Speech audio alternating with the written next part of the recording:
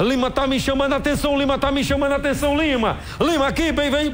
Vai, solta aí, rapaz. Cadê Lima? Vai, Lima.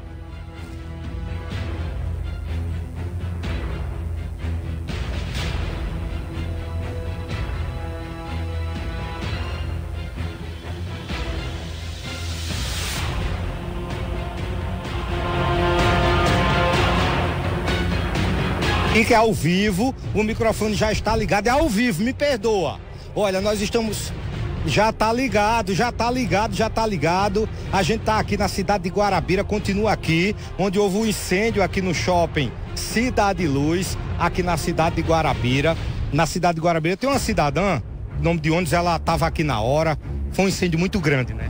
Realmente, Lima, foi uma coisa horrível que Guarabira já pôde viver nessa manhã de sexta-feira 13, né?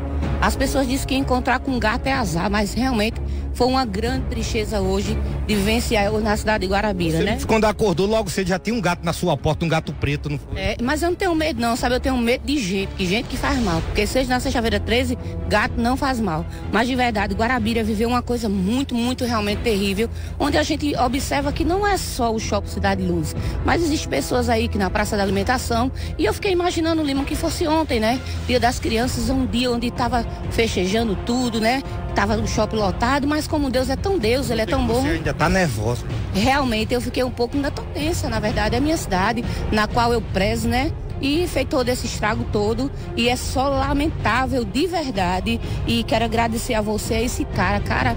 Você está de parabéns, Samuca está de parabéns por agregarem, né? Vocês assim juntos, realmente estão de parabéns aqui. Vem de João Pessoa para fazer uma cobertura porque não faz, realmente. E tudo inédito, né? Isso é maravilhoso. Meus parabéns, de verdade, Obrigado, viu? Dionis. A gente vai aqui, vai tentar conversar com o Tenente Coronel Simval. Vamos tentar conversar. A gente tá ao vivo, Coronel, aqui para a TV Arapuã, o programa de Samuca. Tudo sob controle, né, Coronel? Tudo sob controle. Na verdade, desde as 8h45 da manhã, a Polícia Militar foi acionada, já iniciando aqui os trabalhos juntamente com o Corpo de Bombeiros e voluntários também, os funcionários aqui do, do shopping. Nós fizemos a evacuação eh, de todo o perímetro aqui do shopping, eh, sobretudo da parte interna, onde já, já estava funcionando um cinema com 50 crianças. Nós conseguimos retirar em segurança, as crianças já estão nas suas casas com os, os seus pais, né? É, agora, neste momento, o Corpo de Bombeiros faz a parte do, do rescaldo, faz o esfriamento de alguns materiais ainda inflamáveis, é, como por exemplo, nós temos uma canaleta de gás natural que leva para o pessoal da, da os restaurantes da praça de alimentação e alguns locais ainda é, que precisa de um tempo maior para é, finalizar aqui o trabalho. A operação ainda continua, Polícia Militar, Corpo de Bombeiros, é, pessoas da comunidade, é, pipeiros que trouxeram aqui água, né, para dar o suporte ao Corpo de Bombeiros. Então foi um, um trabalho conjunto, ainda está sendo, para que, é, graças a Deus, nós não tivemos registro nenhum de nenhuma pessoa ferida. E conversei com o pessoal do SAMU, não, tem, não teve nenhum atendimento aqui na, por conta do incêndio. É, comandante, se não fosse a rapidez da polícia, do corpo de bombeiros, dos voluntários, dos funcionários do shopping, poderia a gente estar narrando aqui uma tragédia de grande po- proporção. É, poderia sim. é, algumas lojas aqui com materiais de plásticos, né? É, materiais inf- inflamáveis. é, como também aqui no perímetro do próprio shopping nós temos dois postos de gasolina. É, um, um dos postos estava com 40 mil litros é, de, de combustível, né? E também é, tudo isso foi evacuado. Nós fizemos a- o isolamento do local e graças a Deus, graças ao trabalho das forças de segurança do estado da Paraíba, eh, estamos aqui contando vitória. Claro, ainda estamos tentando minorar e minimizar os prejuízos dos empresários, dos comerciantes, mas aí é o nosso trabalho, trabalho da polícia, trabalho eh, do Corpo de Bombeiros, que nós juramos, né, defender a sociedade, mesmo com o risco da própria vida, e é o que estamos fazendo, defendendo também o patrimônio do cidadão.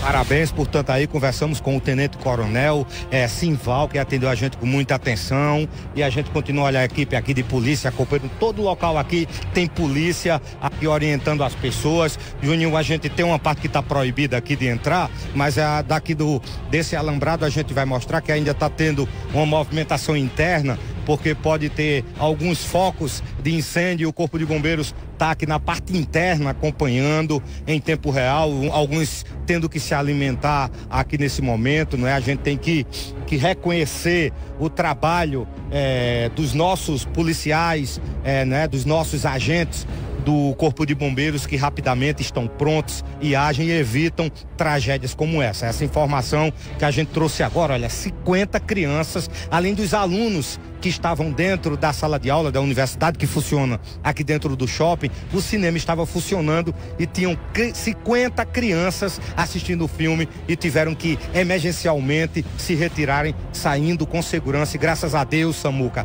graças a Deus não houve nada mais grave. Portanto, até agora só prejuízos materiais. Juninho vai mostrando aqui, é com você aí no estúdio Samuca Duarte. É isso aí, cobertura completa, cobertura completa. Só aqui tem, ninguém tem. Só aqui tem, ninguém tem. Só aqui tem.